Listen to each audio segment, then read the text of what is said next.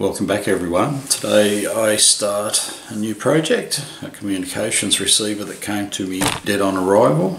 Haven't plugged it in, haven't looked at it, so let's have a look at it together.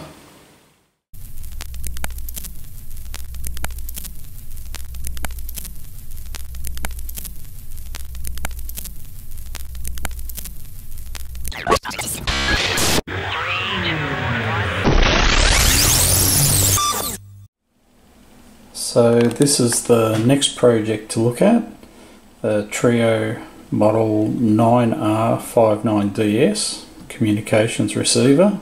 Let's get the cover off and see what it looks like inside.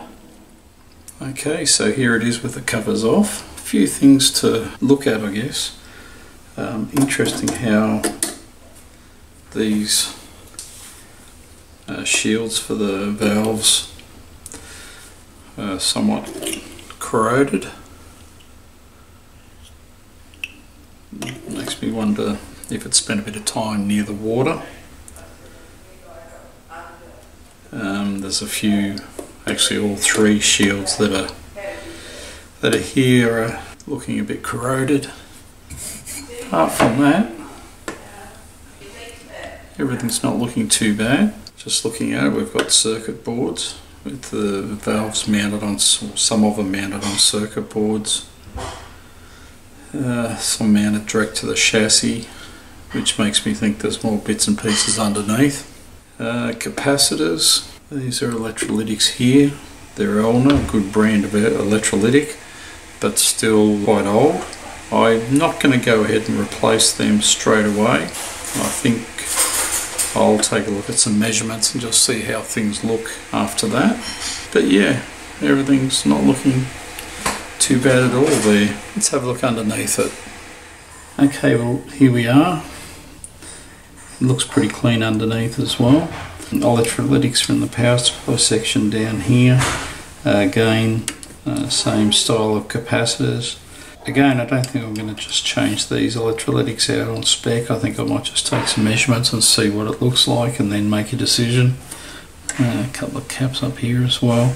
While we're here, might just check the output transformer to make sure that looks okay and even the mains transformer. So I'll just set that up. Okay, so I've got this meter connected up to the speaker terminals and just set to AC. There's a a little bit of rubbish there it's showing. And I've got the SIGGEN just set to one kilohertz. And I've just got to do, oh, actually on the primary of the output transformer. So if we turn that on, instantly that voltage comes up. Uh, 6 volts at the moment. And if we wind that voltage up, we see the voltage increase as well so that transformer looks fine. Okay so I'll just set up for the mains transformer test. Okay so I've got the signal generator set up on the primary uh, on the 230 volt tap and I've got the meter across one of the, the HT windings, there should be a 160 volt winding and it's at 50 hertz there's about 9 volts amplitude on that primary winding. And if we wind down the voltage again we see a, a change which looks good. Now let's put this on the other winding. And again yep, that transformer winding looks fine just see if we could pick up something on the heater. This transformer has two heater windings. Yeah, that looks that looks to be responding, so that looks okay. Yeah, again, I'm getting a response on there, so that's looking good. Okay, so the power transformer and the output transformer both look okay as much as we can tell at this point in time anyway. So that's a very good sign. We don't have a pile of junk sitting here. So I think it might be time to maybe even hit it with a little bit of power with the dim light tester and see how the power supply looks. I just decided to take a bit of a look around the power supply circuit before I applied power and I found something very interesting. In my radio there is a giant choke between the H this primary HT supply here and the secondary uh, supplies. So basically there is a big choke if you like this full wave bridge rectifier is connected to this capacitor and then there's a big choke to this point and this point here. This is a bit difficult to see but I've downloaded the service manual and the choke that I have sits it's very large and sits in this location here. Here it is here. It's monstrous.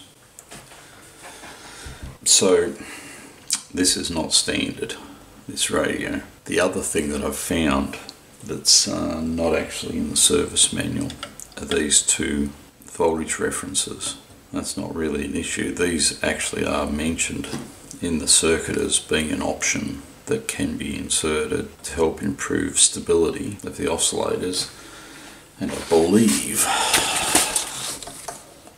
it's for both of these supplies here but I'm not 100% sure and I will get to that. So there's a few markups I'm going to have to do on the circuit diagram for this radio. I can't identify anything else that is different.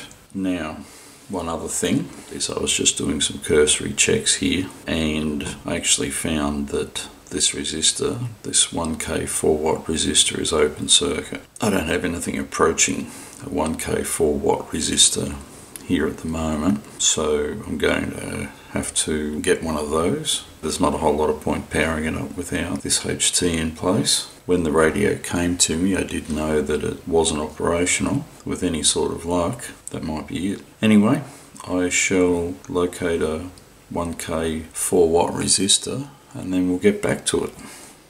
Okay well there you go a little bit of progress there. I'll grab that resistor that's uh, the problem child at the moment and when I have it we'll get back to it. Okay cheers for now. If you like what I'm doing then please do like the video. If you'd like to see more then please subscribe and don't forget to hit the chime so you get notified when I post something new. And I'll put a couple of links here to some other videos you can look at.